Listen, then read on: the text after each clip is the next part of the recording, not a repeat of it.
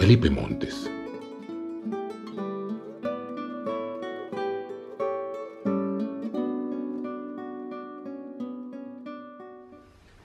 Para Claudia Heredia y para Julio. Existen diferentes maneras en que la recepción de la literatura logra modificar la conciencia humana. Hay quienes reaccionan a las lecturas literarias con una especie de rechazo programado. Hay quienes, por el contrario, pensamos que en principio una pieza literaria es buena y nos dará sus frutos, a menos que se pruebe lo contrario. Y aun cuando se pruebe lo contrario, habrá valido la pena bailar con aquella persona con la que no hicimos una familia, pero de la cual aprendimos a bailar un ritmo diferente. Abundan quienes encuentran en la lectura una larga lista de prohibiciones. Si ya leíste lo que hizo Pinocho, no podrás hacer esto. Si ya leíste lo que hizo Pulgarcito, no podrás hacer aquello. Pero otros heredamos los permisos. Los dos personajes del amor en los tiempos del cólera se enamoraron profundamente y tuvieron la paciencia y la tenacidad necesarias para acercarse de manera definitiva y por eso yo, como lector, y tantos otros lectores, tendremos la autorización para ser pacientes, para enamorarnos, para ser más pacientes, para compartir nuestras vidas con quienes amamos. Entre las dos posturas extremas reconocidas como el arte lo cambia todo y el arte no cambia nada, existe un sinfín de puntos intermedios que otorgan a la recepción de las obras artísticas niveles de poder muy disímbolos. Antes de intentar explicar cómo se ejercita lo humano a través de las letras y el poder de la escritura, podemos hacer un breve recorrido por diferentes esquemas de relación entre el ser humano y la escritura, una de sus creaciones más poderosas. Antes que la escritura está el lenguaje, y el lenguaje sirve para mucho. Si ustedes escuchan a un buen literato o a una persona con un cierto nivel de habilidad para describir, narrar la manera en que, después de ejercitarse a la intemperie durante un día soleado, entra a su casa, va a la cocina, abre el refrigerador, saca uno de los cajones, de entre las bolsas toma un limón, mete el cajón, y cierra la puerta del refrigerador sintiendo el aire frío refrescar sus tobillos. Lleva el limón al fregadero.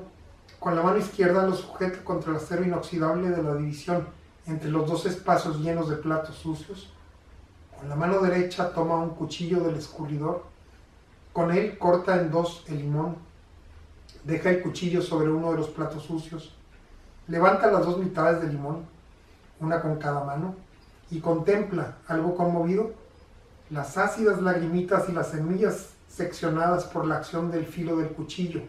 Y sin saber por qué, después de ver aquello un instante más, introduce en su boca una de esas dos mitades del limón a un frío y lo mastica con fuerza, una, otra, otra vez, extrayendo el jugo frío del limón. Y cuando ya ha exprimido a esa mitad la mayor parte de su jugo, mete entre sus labios la otra mitad y de igual manera la mastica. Mastica y mastica y mastica esas dos mitades de limón en su boca, y sus dientes rechinan los de arriba contra los de abajo, y las gruesas y agrias cáscaras van cediendo al poder triturador de los molares. ¿Qué ha pasado aquí? ¿Alguno de ustedes tiene un limón en su boca? ¿Alguno de ustedes secretó saliva con esta simple descripción hecha por un amante de la literatura? ¿Alguno de ustedes tiene duda con respecto a si las palabras pueden alegrar o entristecer a alguien? ¿Creen posible que las palabras puedan provocar hambre, sed, ganas de ir al baño? ¿Creen que las palabras puedan provocar el suicidio de alguien? ¿Creen que una persona sea capaz de asesinar a otra debido a unas palabras que ha escuchado? ¿Será posible que las palabras tengan el poder de enfermar a las personas? y si tienen el poder de enfermar, ¿podrán hacer que las personas recobren la salud? ¿Pueden las palabras provocar disgustos entre familias? Y entonces, ¿pueden las palabras provocar guerras? ¿Y pueden detener las guerras que actualmente existen en el mundo? ¿Y pueden reunir a las familias separadas? ¿Podrán poner a unas personas en el lugar de las otras y hacerles entender el gusto o la desgracia que cubren sus existencias? ¿Hay alguna manera en que las palabras pueden acumularse en un gran conjunto armónico y de ese modo multiplicar su poder? Las obras literarias, especialmente las leyendas, los poemas, los cuentos y las novelas, son capaces de regalarnos muchas vidas por las que transcurrimos, además de las nuestras. Y si las obras literarias no son más que descomunales conjuntos de palabras acomodadas estratégicamente para ofrecer una experiencia, aparecen nuevas preguntas. ¿Cómo hace el Quijote para que nuestros cimientos vitales más profundos se sacudan a tal grado que quedemos convencidos de que renunciar al trabajo y emprender nuestros caminos personales es mejor que quedarse inmóviles, a pesar de que las consecuencias pueden ser desastrosas? ¿Cómo hace Madame Bovary para convencernos de que nuestros anhelos, por superficiales que parezcan, nos dan derecho a emprender luchas las cuales, aunque cuestionables desde más de un punto de vista, dan sentido verdadero a nuestra existencia? cómo hace crimen y castigo para que estemos tanto del lado de un joven idealista, pero que se convierte en asesino, como del de la anciana que cuida a una joven, pero que es una despiadada usurera y que además se convierte en víctima del primero. Cómo hace la guerra y la paz para que a través del cúmulo de una gran cantidad de desgracias personales sintamos nosotros que nuestras vidas llenas o vacías son dignas de ser vividas.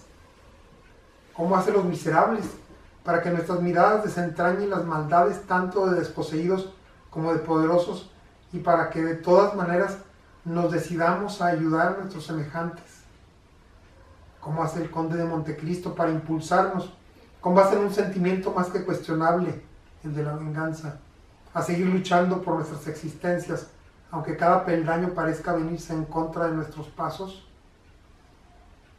¿Cómo hace Moby Dick para con cada aparición y con cada inmersión hacernos entender la furia obsesiva de una persona y aún así darnos la fuerza suficiente para resistir los embates de la crueldad humana?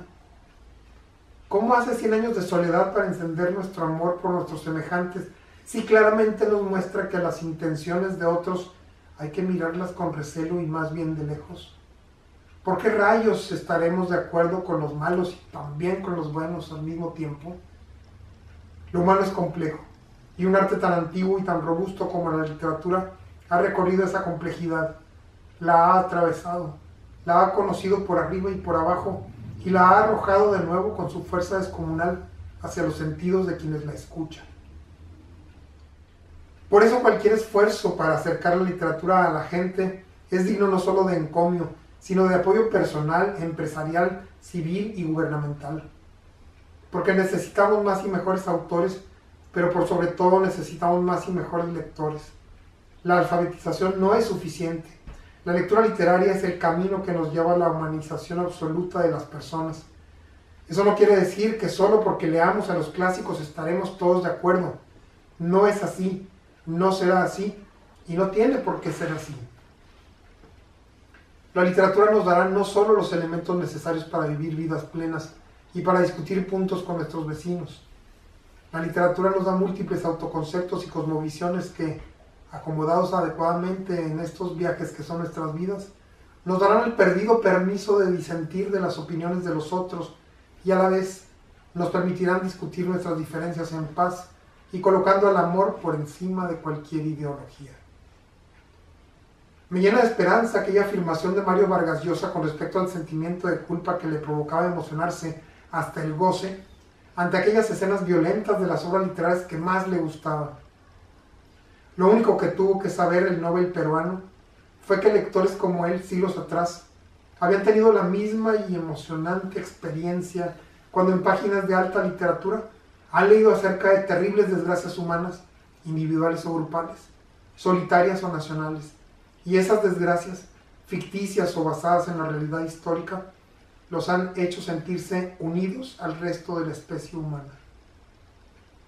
No pensemos que una literatura que incluye la maldad hará malvados a sus lectores. Pensamos mejor que la edulcoración del crimen sí que puede convencer a otros de que se dediquen a él. Si el arte muestra al ser humano lo que hay dentro de su alma, éste podrá de manera libre, consciente, racional, responsable, elegir lo mejor para sí mismo, para sus congéneres y para la naturaleza entera. Muchas gracias. thank you